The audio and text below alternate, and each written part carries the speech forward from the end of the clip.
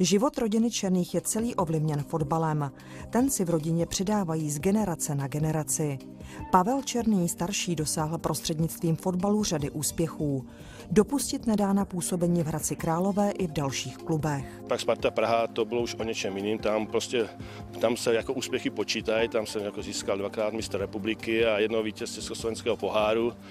Tam samozřejmě ty hráči byli lepší samozřejmě z každý reprezentant a tam se hrál dobře, jako po, po fotbalové stránce určitě nejlepší angažmá. No a pak už jsem pak se mi poštěstilo se dostat na druhou stranu zeměkoule do, do Japonska na, dva, na dvě a půl sezóny a tam to bylo zase o něčem jiným, ale zase si nestěžuju nádherný život, perfektní lidi. Pavel Černý starší pro fotbal dokázal natchnout i své dva syny. Začalo to tím, že už jako malí jsme hnedka od začátku chodili s tátou na tréninky, sledovali jsme zápasy, táta se nám věnoval, kopal si s náma, takže tam někde hnedka zakořeněna ta láska k tomu fotbalu a měl jsem vlastně i to štěstí, že jsem do ničeho nebyl jakoby nějak nucen, prostě kdyby říkal, že když mě to nebude bavit, tak prostě toho nechám, že jsou jiný sporty, kdyby mě něco bavilo, ale nakonec, to, nakonec jsem u toho zůstal. Sportovně založená je i paní Černá.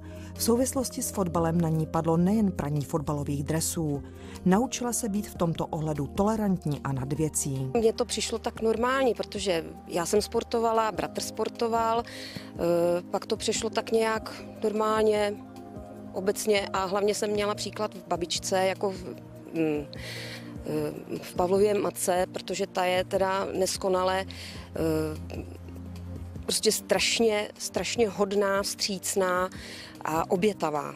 Jo, tak chtěla jsem být taky taková. Opravdu, i když je to tchýně, ale perfektní tchýně. Pavel Černý mladší stále hraje za hradecký klub. Tak teďka hraju tady v Hradci. Prošel jsem si v Čechách, kromě vlastně Hradce, už jenom Jablonec, kde jsem strávil půl roku a potom jsem si zkusil dva roky v zahraničí v Kazachstánu.